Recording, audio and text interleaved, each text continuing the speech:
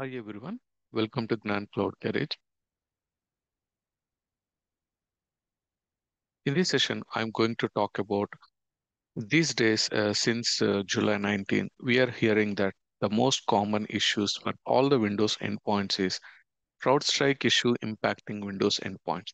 The specific to the error is it's causing 050 or 0 cross 7E error message on your blue screen. So in short form, we can also call it as BSOD issues for all Windows clients. BSOD means blue screen of death issue. So I will clear quickly explain you the issue summary and resolution step. Okay. So here is the issue summary. So Microsoft identified an issue impacting Windows endpoints. So here endpoints means it includes the desktops, laptops, servers, and also the virtual machine, which is running with Windows operating system and specifically running with the CrowdStrike Falcon agent. This is a, one of the endpoint protection software similar to the antivirus software.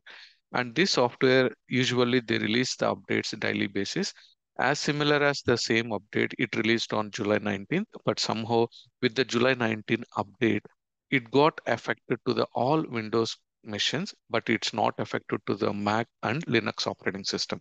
Only Windows machines got affected and it's encounter with a blue screen of death BSOD issues. That error message is like a 0 cross 50 and some are like a 0 cross 70 messages. And the behavior of these machines are affected devices may enter a continual restart state. The restart will be like this. Suppose if it, it is, I took one sample screenshot, 20% complete blue screen error, but even once we restart also, again, it keep coming to the same screen. So I will show you how, what is a common resolution step when we face this kind of issue. And before discussing about resolution steps, let's understand what is a customer facing scenario, how the customers are reporting.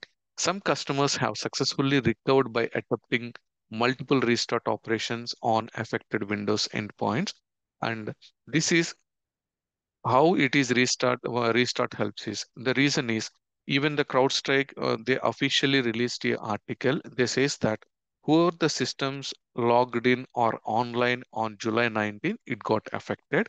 But if the systems are updated with the latest CrowdStrike software from July 20th, all these systems will fix automatically by restart. But still, what all the systems are affected on July 19, some systems may still have a blue screen of death or blue screen issue. That systems we have to address our side. Okay, so we are working with CrowdStrike to provide most up-to-date information available. I'm sharing what is the current information as of today. Okay, so here is the resolution step. So resolution steps, it starts with a, when we have a blue screen issue, anyhow, it we cannot do any troubleshooting step. So the first step, we have to start with a turn off device and or how we can turn off is hold the power button for 10 seconds to turn off your device. So this device can be a Windows desktop or Windows laptop or it is a server and this server can be run it on a, any of the virtualization platform. It can be run it on VMware vSphere or it can be on Microsoft Hyper-V or it can be on a Nutanix AHV virtual machine. But any scenario, for virtual machine scenario, you can right click the virtual machine power reset option. But for your laptops and desktops, we have to press the power button. Okay, so press the power button again to turn on your device.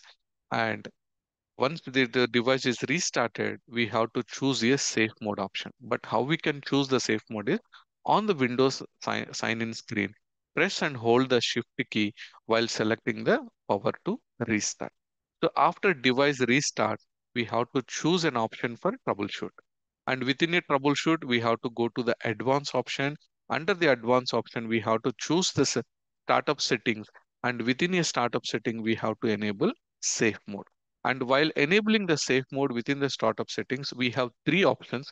We can enable either we can press the key for number four key to enable safe mode. That is option one. And option two, you can press five, enable safe mode with networking and press six, enable safe mode with command prompt. Within these three options, you can choose any one option, either four, five or six. It will Same procedure to troubleshoot. Okay. Once you select this safe mode option and click on restart device, once the device is restarted, it will go into a safe mode prompt. Okay. And continue resolution steps in the following slide. Open the command prompt or once in a safe mode, right click start run CMD, open the command box. And within a command prompt, we have to switch to the system drive. That system drive first go to the C drive and then we have to navigate to the CrowdStrike directory. That path is like a CD. That means change directory to C drive Windows System 32 drivers. The path is CrowdStrike path. Once you type this path, press enter and for the actual problematic file is you have to type the command directory space C colon. It, we have to enter 50291 star dot c, press enter. Once we type this command, the problematic time, a problematic file, if you want to delete, the command is same. Delete space, the actual file path and press enter. Once it is deleted, to validate the file is still exist or not, we can also manually search with this file name within our C drive c-zeros291 star.sys. If you find any of the other location, you can just delete them. Once the deletion is completed, restart your device. The device can be a desktop or laptop, the same troubleshooting steps, even OS flavor is either it is a Windows 10 or Windows 11 or server OS Windows 2000 series like 2016, 2019 and 2022 all have a same procedure. But only thing we have to remember is we have to delete this file from a safe mode prompt if the system doesn't affected with a blue screen of death. Till if you have a this file with a July 19th file, we have to delete. If the file is updated with July 20 or July 21, we no need to delete because July 20th file and 21st and today's date file, all files are up to date. Uh, CrowdStrike says that the latest files are no impact only impact this file is on if the system is running with the July 19th file only. Okay. Hope you understand the troubleshooting step and same steps applicable for even the virtual environment also. You can, in order to reset the virtual machine, just right click the VM reset and you can press F8 to go to the safe mode prompt and then deletion prompt. Either you can use command prompt to delete or you can use directly go to the C drive Windows System 32 manually you can delete from the graphical mode. Any method you can follow. Okay.